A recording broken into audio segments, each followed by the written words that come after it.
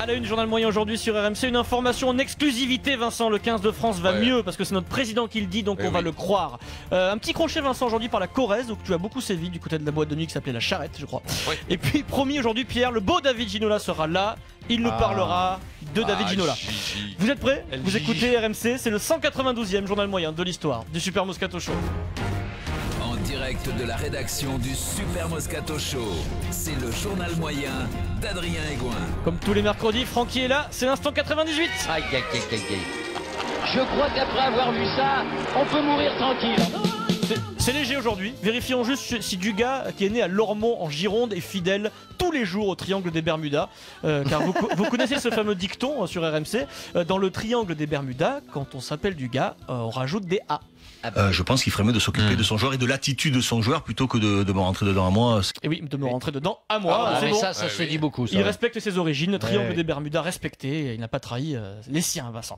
Euh, Manu Petit, hier sur RMC, s'est reconverti dans la fabrication de Moscar.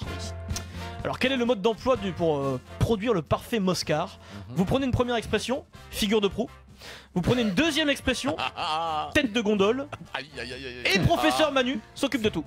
Si on fait de lui l'entraîneur et la, la, la- la tête de proue oui, euh, du fameuse, projet euh, sportif. La fameuse- de gondole. La fameuse Ouais. tête de proue. Moi, je préférais figure de gondole. Oui. C'était ouais. l'instant 98, merci. Ah, putain, je suis content quand j'arrive à y Je échapper. crois qu'après avoir vu ça, on peut mourir tranquille. En fait, en fait, je suis crevard. Je m'en fous qu'ils morflent les deux autres. À partir du moment où ah, bah, à ce moment où j'y suis pas, je suis content. Sans transition, parlons d'amour.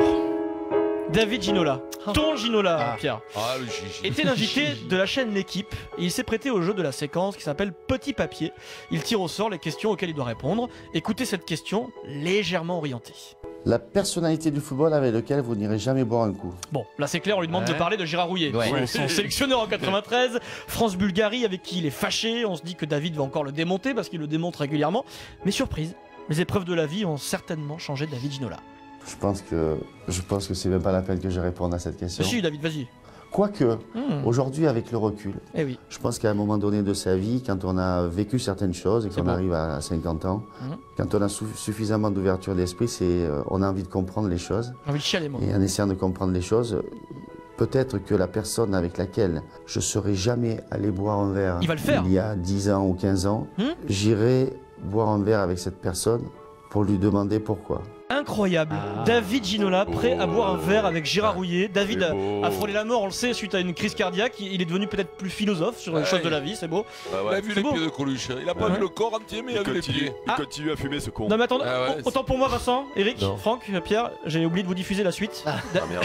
Ah bon Ah, c'était pas, c'était pas Gérard Rouillet. David, monsieur, monsieur Magnifico, vous, vous confirmez, vous voulez vous réconcilier avec Gérard Rouillet? Oh là. Le, le verre, il n'est pas obligé de finir dans la gorge. hein.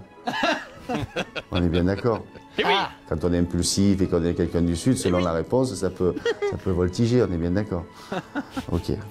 Oui David, Mais je pense que j'ai pas besoin de mentionner le nom. Je pense qu'on est, on est bien d'accord là-dessus. Non, pas besoin David, Gérard Rouillet aura bien reçu le message, je pense, et je pense pas que vous, vous allez boire un verre très fou, très vite. c'est fou cette haine hein, qui persiste. Incroyable. C'est c'est dingue. hein. On y a cru, moi j'y ai cru hein, au- dans l'interview. hein. Ah ouais. On l'embrasse à David. Perdure. On l'embrasse hein. à David. Ouais, Je vous raconte pas ma vie, mais j'ai quand même mangé avec lui lundi soir. quand même. Ah, Putain, comme quoi, tu vois, tu vois, tu renuis ton passé, tu renuis ton passé. Ah non, non, non, non. Ça non. parlait de crème épilatoire. Renier, son- renier son passé, c'est quand tu te faisais des bisous à l'époque que maintenant tu te Vous avez- fracasses. Tu vois, vous avez- Nous, on a fait le contraire. Non, ah bah ouais, ben donc euh, Nous, on voilà. a fait le contraire, nous. Sans Tu nous as fait croire qu'il y avait une haine euh, et rien. en fait. Eric, bah, vous oui, avez oui, été chez l'esthéticienne après le repas ou quoi vous faire, vous faire un maillot ou un truc comme ça les deux Gardons du temps, Eric, puisque tu sais que le 15 de France est en crise, Eric. Et donc, quand c'est comme ça, le 15 de France communique Sur le stade Pitch-Aubert, à Arles-sur-Tech, là où tout a commencé.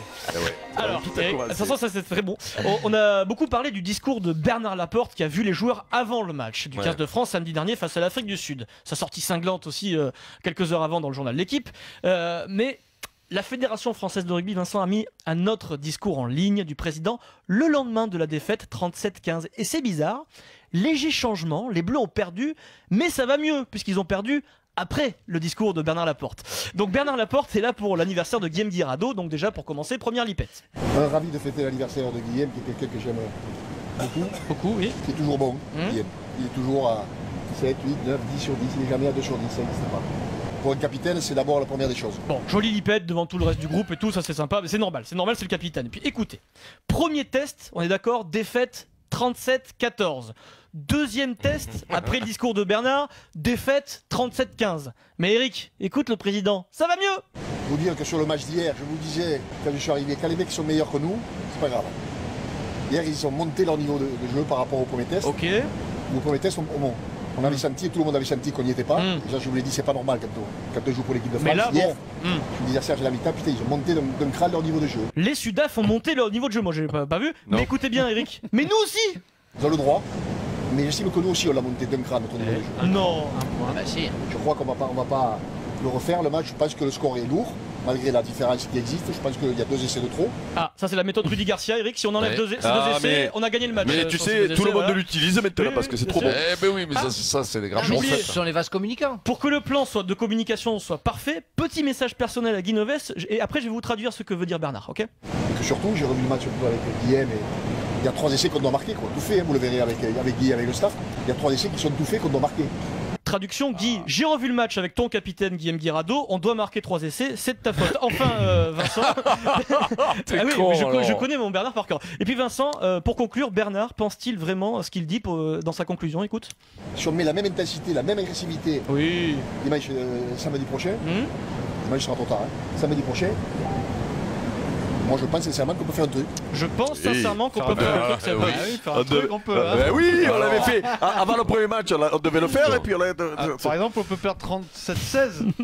Non mais t'as. Eh, Si on attrape Julien Robert et Claudia Schiffer, on leur bourre bien la gueule, on peut faire un truc. Oh, Et eh oui. ils diront non. Eh Ils diront pas eh non. C'est Eh bon oui. ce discours ou pas Non mais Adrien, non non mais Adrien, il a fait mieux que il a fait mieux que Rudy Garcia parce qu'il a dit si Ah. si on n'avait pas pris les essais, on aurait. Oui. mais lui il dit si on avait mis les essais les essais qu'on devait mettre, c'est-à-dire. Écoute, il n'en Ouais, croit c'est les pas. génies, il génies. croit pas un mot, D'accord, mais c'est l'anniversaire de. de, de... Moi, ma Ah, phrase et alors, par contre, la j'ai revu le match avec La le seule chose de vraie, la seule chose de fabuleux. vraie, c'est- c'est- c'est c'est Guillaume Guirado qui Oui. fait des matchs à incroyables. fait, À chaque tout à fait. fois, alors lui, je te dis, il est, il est à 8 sur 10 tout le temps, tout le temps, Mais, tout mais- le temps. mais en fait, moi, Lui, si je suis ah, bien. Putain, quel, quel bosseur ce mec. Si je suis bien l'analyse de Bernard, s'ils enlèvent les deux euh, essais qu'ils auraient pas dû prendre et marquent les trois essais qu'ils auraient dû marquer, mais ils ont foutu une tôle à 50 l'Afrique du 50-0. Sud. 50-0. Ah le, mieux, ce qu'il fallait faire, c'est de ne pas aller en Afrique du Sud, comme ça, t'aurais pas pris 3 tôles. Ah. Voilà. En tout cas, pour nos amis, nos copains de la radio France Info, le problème est réglé. Écoutez les infos de 11h samedi, c'était avant le match du 15 de France.